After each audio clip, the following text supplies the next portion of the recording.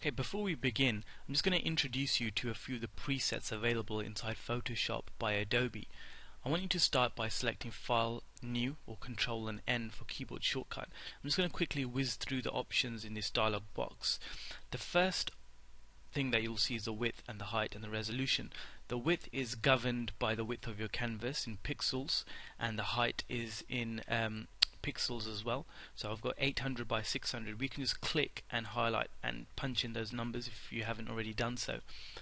And from the dialog box here, the drop down, you'll see you can change that. So if you don't want 800 pixels, you can work in inches, centimeters, millimeters, and so forth as well.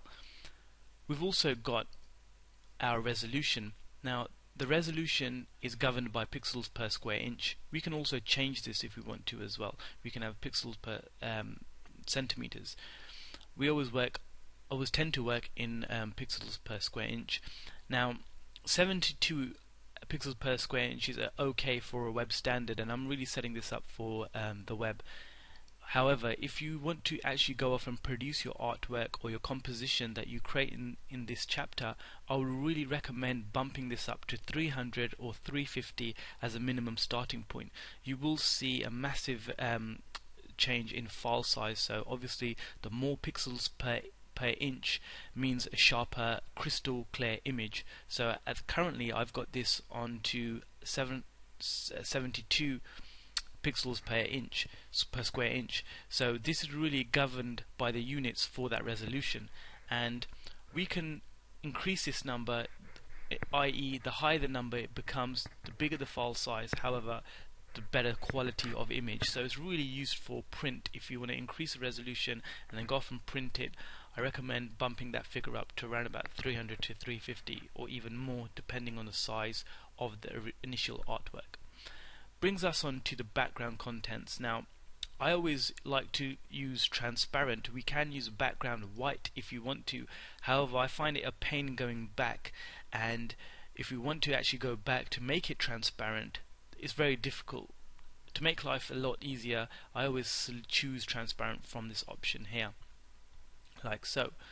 We've then got from the advanced options we've then got color profiles now color profiles are primarily to do with those individuals who want better color profile or color management within their document now it's it's a good way to synchronize a machine or somebody else's machine to work with the same color profile. Let me give you an example. So if we work on an artwork or a photograph and I want to really send it to the printers, so I'll FTP over to the printer he would then I would I would expect him or her to use the same color profiles or embed the color profile inside the document.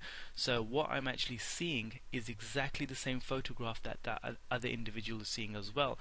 And there's certain standards. So even though the monitors may vary in companies, they may have an Apple machine, I may have a PC machine, or vice versa. Um, these color profiles are really designed to get around that those those hardware concerns and issues, so they're quite cool. I generally use an sRGB. There's loads loads of um, different color profiles that I don't really want to get into at this stage. I I would recommend you can use go ahead and use Adobe RGB, or you can use the sRGB as well. Okay, and again the pixel aspect ratio for this one I want you to use square pixels. We'll talk about um, what the what these others do later. Now I've set this up as a custom preset. Notice up here on the preset we've also got different other presets available that Adobe have provided. So for example if I select web it will give us what Adobe thinks um, a web profile should be. So 640 by 480 which is quite cool. And we've got 72 we've got RGB and 8 bits of color and transparent. We can also set this up for film. Straight away you'll see notice some difference in um, size and compression. And again we've got different color profiles and a different asp um, pixel aspect ratio as well. That's, that'll be set up for film and TV so I'm just going to go back to my custom one. If you already haven't done done so I'm just going to quickly switch this back to an 800 by 600 just so that my my canvas is somewhat spacious. I'm going to set that up to transparent and my color profile to sRGB and square pixels. And we're ready to rock